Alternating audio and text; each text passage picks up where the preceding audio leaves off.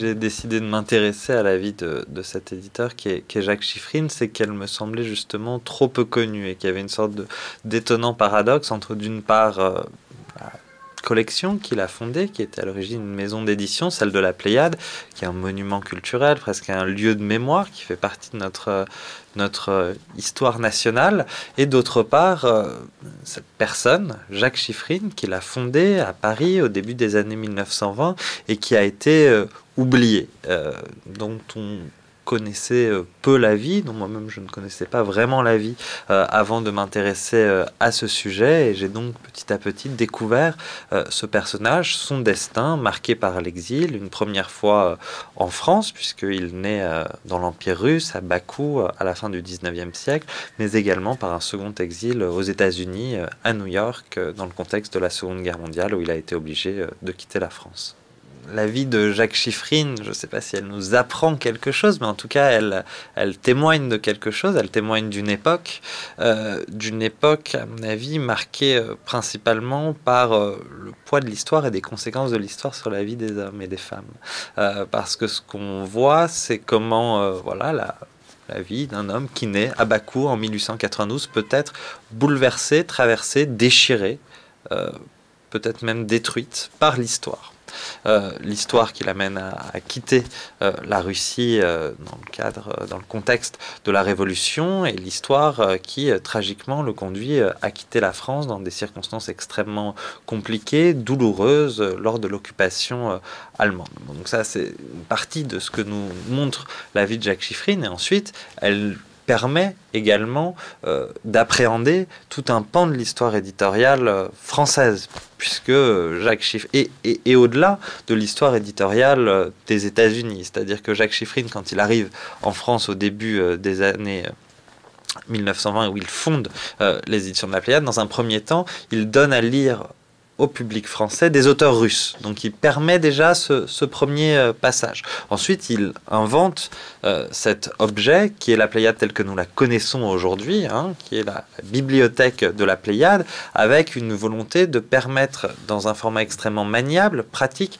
d'avoir accès euh, aux plus grandes œuvres de la littérature. Donc il y a vraiment une idée éditoriale presque géniale qu'il a, puisqu'au départ, les Pléiades ne sont pas ces objets presque luxueux qu'elles peuvent être aujourd'hui, mais bien des objets pratiques maniables qui ont vocation à permettre à un lecteur d'avoir euh, en un petit objet l'ensemble d'une œuvre d'un grand, grand auteur. Ensuite, quand il arrive aux États-Unis, dans le cadre de son exil, il va travailler avec un autre éditeur qui s'appelle Kurt Wolf, et ensemble ils vont fonder une maison d'édition qui s'appelle Pantheon Books, dont la vocation va être de faire passer la culture européenne, la littérature européenne aux États-Unis.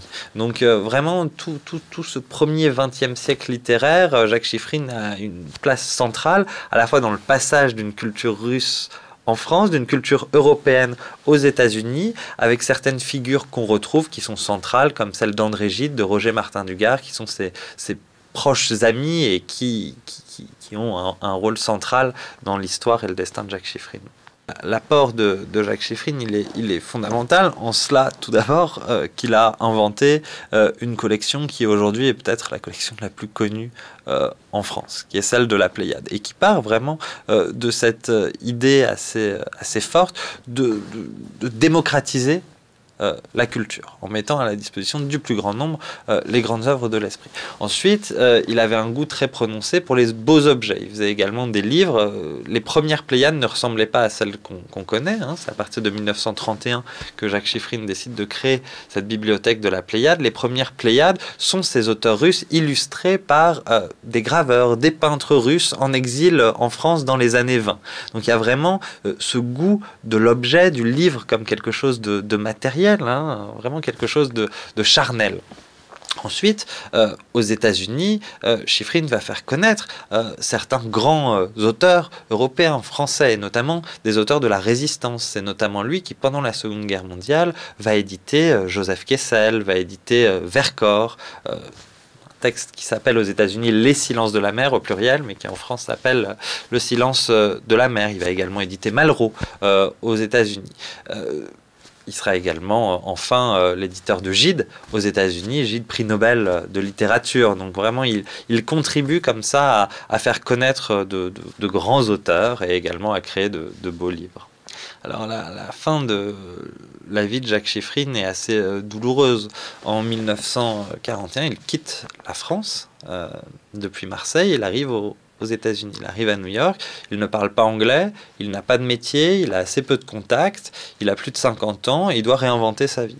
Et c'est tout sauf simple. C'est d'autant moins facile que les circonstances de son départ sont terribles. Euh, lui a aimé la France, lui a été euh, naturalisé français en 1927, a construit sa vie en France et il a été chassé de France. Il n'avait d'autre choix que de partir s'il souhaitait, euh, s'il souhaitait survivre. Et donc la, la, fin de sa vie est, difficile en cela qu'elle est euh, marquée par ce traumatisme. Elle est meurtrie la fin de sa vie et lui-même ne reviendra jamais euh, en France euh, avant sa mort aux États-Unis en 1950 parce qu'il était certes d'une part malade, il avait maladie au poumon, un emphysème, mais peut-être surtout parce qu'il ne pouvait pas revenir tant les circonstances qui l'avaient conduit à partir avaient été euh, douloureuses. Ensuite, la Pléiade, elle, a, continué euh, sa vie. Pendant la guerre, c'est notamment Jean Paulhan, euh, qui était un proche de Jacques Chiffrine, qui s'en est occupé. Mais la question a pu se poser du retour de Chiffrine à Paris pour s'occuper de la Pléiade, mais finalement, finalement cela n'a pas abouti.